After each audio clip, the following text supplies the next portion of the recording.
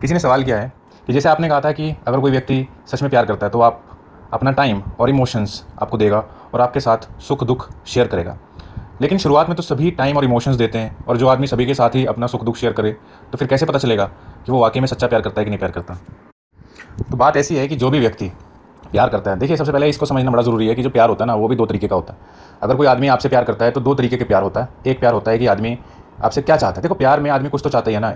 एक में होता है कि वो आपसे, आपका साथ चाहता है, आपसे शादी करना चाहता है, साथ इमोशंस जिसको बोलते हैं, और दूसरा है कि वो सिर्फ़ फ़िज़िकल होना चाहता है। इसको ही प्यार बोलते हैं, दो ही किस्म के प्यार हैं जो चल रहे हैं, ठीक है? अब इसको वासना को भी लोग प्यार ही कहने लगे, लेकिन काम वासना और प्यार दोनों ही डिफरेंट चीज़ें होती हैं। लेकिन लोगों ने इस चीज़ को ऐसे मिक्स कर दिया कि देखो गर्लफ्रेंड बॉयफ्रेंड है तो उसमें वो जो प्यार होता है, उसमें जो लस्ट है, वो इंक्लूडेड है, वो पैकेज डील है पैकेज में आती है। जैसे पत्नी के साथ अगर प्यार है तो वो वासना जो है, वो लस्ट जो है, वो प्यार का पार्ट है, दोनों ही साथ में आएँगी। लेकिन अगर आप किसी सिस्टर के साथ प्यार करते हो तो फिर उसमें लस्ट की कोई जगह नहीं है। किसी और कज़न रिलेटिव के साथ आप प्यार करते हो तो किसी भी दोस्त हो, चाहे कज़न हो, चाहे रियल हो, कोई भी हो, आपको अगर प्यार करना है तो उसमें लस्ट नहीं लानी। क्योंकि अगर लस्ट ले आए तो वो जो प्यार है, वो कंटेमिनेट हो गया, वो इम्प्योर हो गया। लेकिन अगर गर्लफ्रेंड है या वाइफ है तो उसके साथ लस्ट ले आए तो वो नॉर्मल है, वो प्यार का पार्ट है। तो सबसे पहले इस चीज़ को समझो कि लस्ट इंक्लूड करने से प्यार का पार्ट नहीं बनता, प्यार कंप्लीटली डिफरेंट चीज़ है लस्ट टोटली डिफरेंट चीज़ है। और ये तो समाज ने व्यवस्था बनाई है कि जो वाइफ होती है, उसके साथ ये चीज़ें करी जा सकती हैं, क्योंकि वंश को आगे बढ़ाना होता है। वंश मतलब जनरेशन को आगे बढ़ाना होता है। इस वजह से ये चीज़ें कर सकते हैं। लेकिन अब लोगों ने गर्लफ्रेंडों के साथ भी ऐसा करना शुरू कर दिया और फिर वो गर्लफ्रेंड बदलते बदलते रहते हैं और फिर गर्लफ्रेंडों का भी, लड़कियों को भी इस चीज़ का मज़ा आने लगा, उनको भी चस्का लग गया, आदत लगी उनको भी बॉयफ्रेंड बदल बदल के करते रहना तो कहने का मतलब ये है कि ये जो चीज़ आई है, ये तो वेस्टर्न कल्चर से ही आई है, क्योंकि हमारे देश में कहाँ अरेंज लव मैरिजेज होती थी तो सब सारा कंसेप्ट ही वेस्टर्न है, क्योंकि जब से फ़िल्में लोग देखने लगे हैं, वहीं से उनको लगता है कि नहीं, हम तो खुद पसंद करेंगे।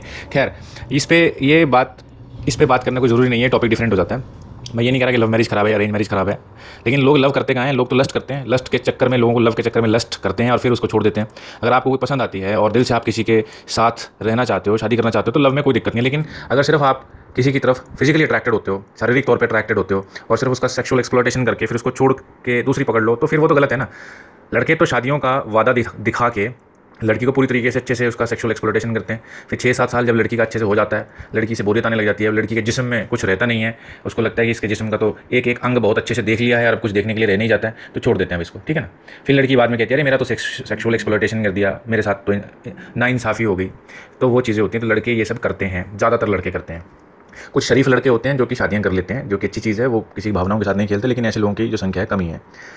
तो बात यहाँ पे ये आ गई कि जो प्यार होता है, उसमें जो लस्ट है, वो पैकेज डील नहीं होती। प्यार बिल्कुल पवित्र होता है, जिसमें अगर आप किसी से प्यार करते हो, अगर आप किसी रिलेशनशिप में हो, और उसमें से आप इस लस्ट को निकाल दो, और फिर देखो क्या आप उस व्यक्ति के साथ अभी भी रहना चाहते हो तो अगर रहना चाहते हो तो आप प्यार करते हो। अगर आपको लगता है कि लस्ट निकाल दिए क्या है, कुछ भी नहीं है तो बोरिंग है सारा काम तो फिर वो प्यार नहीं है, वो सिर्फ़ वासना है, ठीक है? तो एक चीज़ तो इसको समझना चाहिए। फिर दूसरी चीज़ ये होती है कि प्यार दो तरीके के होते हैं, जिसको लोग प्यार कहते हैं, वैसे प्यार नहीं होता वो। एक तो होता है प्यार, एक होता है वासना। वासना को भी लोग प्यार ही कह देते हैं। क्योंकि अगर उसको वासना कहेंगे तो लड़की फिर अपना एक्सप्लोइटेशन अपना शोषण नहीं करवाएगी ना उसको तो लगेगा कि यार ये तो मज़े लेके चले जाएगा, छोड़ देगा मुझे। तो फिर मैं इसको क्यों अपना सब कुछ दूँ? तो लड़के क्या करते हैं, उसको सपने दिखाएँगे शादी के। तभी तो फंसेगी वो। तो यहाँ पे जो चीज़ है समझने की कि जैसे इन्होंने पूछा कि शुरू में तो सारी टाइम और इमोशंस देते हैं। देखो, अगर तो लड़का चाहता है सिर्फ़ सेक्सुअल एक्सप्लोइटेशन करना, क्योंकि लड़कों को शुरू से पता होता है। मैं यहाँ पे लड़कियों की बात नहीं कर रहा लड़कों की कर रहा हूँ। लड़कियाँ भी कम नहीं है। किसी भी तरीके से लड़कियाँ कम नहीं है। लड़कियाँ भी खूब एक्सप्लोइटेशन करती हैं सेक्सुअल भी करती हैं फाइनेंशियल भी करती हैं। लेकिन बात यहाँ लड़कों की करूँगा मैं। तो यहाँ पे क्योंकि लड़कों की बात करेंगे तो थोड़ा इजी रहेगा समझने में, नहीं तो कन्फ्यूज़न हो जाता है, किसके बारे में बात करें। लेकिन ये जो मैं लड़कों के बारे में बात करूँगा, वो लड़कियों पे भी वो रूल्स अप्लाई होते हैं। अगर लड़की शरीफ नहीं है कैरेक्टरलेस है तो लड़का भी अगर कैरेक्टरलेस है तो दोनों में कोई ज़्यादा डिफरेंसेस नहीं है। शरीफ लड़के और लड़कियों में कोई डिफरेंसेस नहीं है, और जो बेशरम लोग होते हैं, उनमें भी कोई ज़्यादा डिफरेंसेस देखने को नहीं मिलते। तो जो लड़का आपके साथ सिर्फ़ और सिर्फ़ खेल खेलना चाहता है तो वो कभी भी अपने दिल की बातें नहीं करता। और अगर आप ढंग से ऑब्ज़र्व करो तो आप देखोगे कि वो सिर्फ़ आपको सुनता है। वो आपको एक तरीके से आपके लिए एक एनवायरनमेंट क्रिएट कर देगा कि आप खुल के अपनी बात करो। और लड़कियाँ भूल ही जाती हैं कि वो इतनी बात करती हैं, इतनी बात करती हैं, वो अपनी बातें करती रहती हैं और उनको लगता है कि जैसे नॉर्मल कॉन्वर्सेशन हो रही है। क्योंकि वो इमोशनली बात करती हैं तो लड़का अपनी बात नहीं करता तो क्योंकि उसको अपनी बात करनी नहीं होती है तो लड़का इमोशनली अटैच नहीं होता, लड़की हो जाती है। क्योंकि लड़के के तो दिमाग में गेम्स चल रही होती है, उसको तो ये होता है कि यार कैसे करके इसका एक्सप्लोटेशन करना है कैसे करना है। इसका पहले विश्वास जीतना है तो इसको इमोशनल बातें करने दो। ये लड़कियाँ इमोशनल होकर उसके साथ फिर उसको अपना समझने लग जाती है, उसको ट्रस्ट करने लग जाती हैं, और बस यही लड़का चाहता है कि एक बार ट्रस्ट करें, ठीक है? तो लड़कियाँ, जैसे एक ये है कि लोग टाइम देते हैं टाइम तो देगा टाइम देगा, तभी तो आप उसको कुछ दोगे ना, जो आपसे उसको चाहिए, वो तभी तो मिलेगा, जब आपको टाइम देगा। लेकिन वो इमोशंस नहीं देता आपको, यहाँ पे ध्यान देने वाली बात है इमोशंस नहीं देगा, वो कभी अपनी वीकनेसेस तुमसे शेयर नहीं करेगा। क्योंकि उसका टारगेट है ही नहीं इमोशनल अटैचमेंट उसको तुमसे इमोशनल कोई लेना देना नहीं है। उसके दिमाग में क्लियर है कि मुझे जल्दी से जल्दी इसके साथ गंदे काम करने स्टार्ट कर देने हैं। ऑनलाइन है तो ऑनलाइन और रियल में है तो रियल में। तो वो जल्दी से जल्दी चाहता है और वो अपनी टाइम वेस्ट नहीं करता अपनी कहानियाँ सुनाने में। तो ये चीज़ तो है। और दूसरी बात है कि क्या कोई आदमी सभी से अपनी बातें शेयर करता है? तो जो आदमी खिलाड़ी होता है, वो इमोशनल में जाता ही नहीं है, वो इमोशंस करता ही नहीं है, उसे वो जो खिलाड़ी लोग होते हैं, वो इतने ज़्यादा इमोशनल होते भी नहीं हैं। और अगर उनको कोई चीज़ बात बुरी लगती है तो वो किसी से अपने दिल की बातें नहीं करते, ये इतने घटिया लोग होते हैं, अपने दिल की दिल में रखते हैं, किसी से शेयर ही नहीं करते हैं। दिक्कत तो है ना, अगर शेयर करते हैं तो फिर इतनी दिक्कत ना हो ना, ये लोग दिल में रखते हैं, नफरत पालते हैं और लोगों को बहुत गंदी तरीके से चोट देके जाते हैं। तो ये लोग किसी से भी अपनी दिल की बातें नहीं करते। और अगर कर रहे हैं, कुछ लोग होते हैं, कर लेते हैं तो लेकिन अगर कुछ लोग कर लेते हैं, ठीक है, कोई बहुत परेशान है, और उसको कोई मिल नहीं रहा तो उसने कर लिया। तो इससे भी ये साबित नहीं हो जाता कि वो दिल का अच्छा है। कई लोग होते हैं, परेशान होते हैं उनको कहीं ना कहीं कुछ चाहिए होता है कहीं अपनी फ्रस्ट्रेशन निकालने के लिए तो वो कर लेते हैं किसी से बातें, और उन्हें कोई भी मिल जाए डजेंट मैटर उन्हें फ़र्क नहीं पड़ता कोई उसको फ्रेंड है, नहीं फ्रेंड है तो उन्हें तो बस अपनी भड़ास निकालनी है, और जैसे वो हल्के होते हैं तो वो छोड़ देते हैं। ये भी मतलब ही कहा जाएगा। ऐसी लड़कियाँ भी बहुत होती हैं कि जब उनको परेशान होती है तो किसी न किसी को ढूंढ रही होती हैं कि बस कोई मिल जाए, जिसको मैं अपनी दिल की बातें सुना दूँ, अपना रोना रो दूँ किसी के सामने, फिर वो हल्की हो जाती है अच्छा लगता है, फिर वो छोड़ देते हैं। वो देखती नहीं कह रहे जिससे तुमने अपनी दिल की बातें करी, उसकी भी दिल की बातें उसकी भी सुन लो कुछ। नहीं नहीं, वो हमारे, उस समय कोई लेना देना नहीं है। ऐसा भी करती हैं। आवाज़ अपनी सुनाओ और निकलो। तो इसको भी मतलब ही में ही गिना जाएगा। ये कोई ऐसा नहीं है कि दिल की बातें कर ली तो वो मतलब प्यार करने लग गए तुमसे, ऐसा भी कुछ नहीं है। लोग दिल की बढ़ास निकालने के लिए भी कर लेते हैं। अब साइकोलॉजिस्ट के पास जाते हैं थेरेपिस्ट के पास जाते हैं तो वहाँ पे वो तो लोग पैसे लेते हैं। ये ये सुनने के फालतू की बातें इमोशनल जो कचरा है इसकी सुनने के पैसे लेते हैं। नॉर्मल लोग जो फ्रेंड्स वगैरह हैं, ये ऐसी किसी को ढूंढ लेते हैं तो सुना देंगे। फ्रेंडशिप में तो चलता है, लोग एक दूसरे को अपनी इमोशनल बातें बताते हैं, लेकिन यार ये तो गलत है ना, अपनी बताइए और चले गए, फिर दूसरे की तो सुन नहीं रहे। तुम्हारी लाइफ तुम्हारी प्रॉब्लम्स तुम्हारी समस्याएँ, तुम कोई सुनते रहो बस। तो ऐसे लोगों को भी आप सही लोगों की गिनती में नहीं रख सकते अब बात आती है कि जो लोग वाकई में आपकी तरफ़ अट्रैक्ट होते हैं, आपको पसंद करते हैं, आपके साथ शादी करना चाहते हैं तो गड़बड़ कहाँ होती है? तो इन लोगों की बात करना इंपॉर्टेंट है, क्योंकि ये सच्चा प्यार करते हैं। ये सच में केयर करते हैं, इनको आपके सुख दुख से सच में फ़र्क पड़ता है। जैसे कुछ दो लोग होते हैं, वो शादी भी कर लेते हैं, बाद में तलाक हो जाता है। तो शादी तक पहुँचे ना, शादी करनी थी, लेकिन बाद में तलाक हो गया, क्यों हो गया? तो असली खेल यहाँ पे है कि सारे लोग मेच्योर नहीं होते। लोगों को अट्रैक्शन होता है, वो एक दूसरे के साथ हो जाते हैं, प्यार करने लग जाते हैं, तारीफें करते हैं एक दूसरे की, लेकिन समझदारी नहीं होती है। खुद को नहीं समझते हैं, अपने प्रॉब्लम्स होते हैं। देखो, दुनिया में जितने भी लोग हैं सभी लोगों को कोई ना कोई मेंटल प्रॉब्लम या इमोशनल प्रॉब्लम ज़रूर होती है। कोई ना कोई इमोशनल डिसऑर्डर होगा या मेंटल डिसऑर्डर होगा। मेरा अपना बहुत अच्छा एक्सपीरियंस है। मैं कोई किताबी बात नहीं करता, मैं प्रैक्टिकल बात करता हूँ। और बहुत छोटी उम्र से मैंने ये सब चीज़ें सीखना, समझना शुरू कर दिया था। और काफ़ी छोटी उम्र से मैंने लोगों को काउंसलिंग देना भी शुरू कर दिया था। तो मुझे अच्छे से पता है कि जो लोग परफेक्ट होने की बातें करते हैं हमें परफेक्ट लगते हैं। वो तो सबसे ज़्यादा इम्परफेक्ट होते हैं अंदर। और वो कुछ ना कुछ छिपाने की कोशिश करते हैं। क्योंकि वो ज़्यादा डिस्टर्ब होते हैं, तभी वो लोगों के सामने ज़्यादा परफेक्ट होने का दिखावा करते हैं, ताकि कोई उनकी ये चोरी पकड़ ना सके। तो सभी लोग इस दुनिया में, जितने भी लोग मौजूद हैं, वो सभी के सभी किसी न किसी स्ट्रगल में हैं। हाँ उन लोगों की बात नहीं करेंगे जिन्होंने अपने ऊपर काम किया और उस स्ट्रगल से निकल गए या जीत लिया खुद को।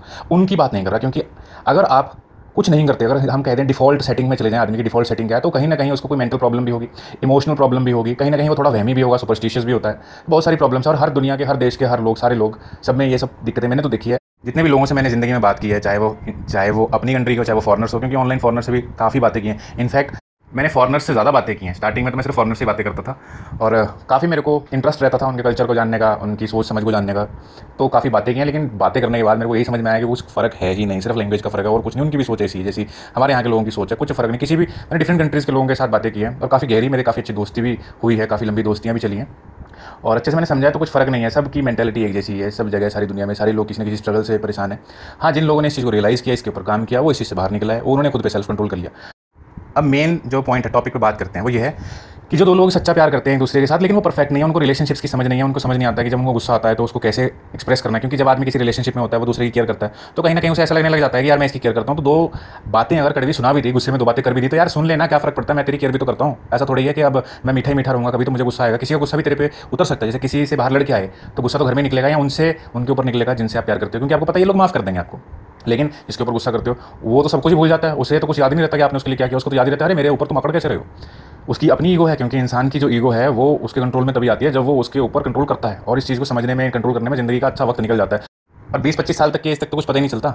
20-25 साल तक की उम्र तक तो कुछ नहीं पता चलता ईगो क्या चीज़ है, कैसे हमारे रिलेशनशिप्स को खराब करती है। जो लोग बहुत ही सेल्फ अवेयरनेस प्रैक्टिस करते हैं, उनको भी 25-26 साल के बाद थोड़ा पता लगने लग जाता है और कंट्रोल करते करते उनका भी अच्छा खासा वक्त निकल जाता है। लेकिन ज़्यादातर लोगों को तो पता ही नहीं चलता कि सारी ज़िंदगी वो ईगो ने उनको कंट्रोल किया और उनकी रिलेशनशिप खराब करती है तो बस बात यह है कि जहाँ पे दो लोग सच्चा प्यार करते हैं और वहाँ पर रिश्ते खराब हो जाते हैं, उनका रीज़न यही था कि उनको बस ये समझ नहीं आया कि ईगो और गुस्सा, ये दो सबसे बड़े दुश्मन होते हैं रिश्ते के। गुस्सा, चाहे किसी की कितनी भी केयर करो, गुस्सा तुम्हें बहुत सोच समझ करना पड़ेगा, क्योंकि गुस्सा आ गया वो सब खत्म कर देगा। चाहे तुमने किसी के लिए कितना मर्ज़ी किया हो, चाहे तुम्हारी अपनी फैमिली हो, जैसे पेरेंट्स हैं, वो बच्चों के लिए कितना कुछ करते हैं, लेकिन वो गुस्सा करते हैं ना तो वो पेरेंट्स जितनी भी अच्छी मेमरीज होती हैं, सबको खत्म कर देते हैं।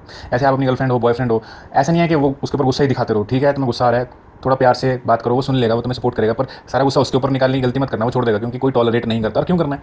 कोई तुम्हारे साथ इसी वजह से तो है, क्योंकि तुम उसका अच्छा फील कराते हो। स्टार्टिंग में तो लोग बड़ा एक दूसरे को अच्छा फील कराते हैं, बाद में क्या करते हैं? जब उनको कन्विंस हो जाते हैं ये कहीं नहीं जाएगा तो फिर उसके ऊपर ही सारा इमोशनल कस्टर डालने लग जाएँगे। उसके ऊपर ही गंद फेंकने लग जाएँगे, गुस्सा करने लग जाएँगे।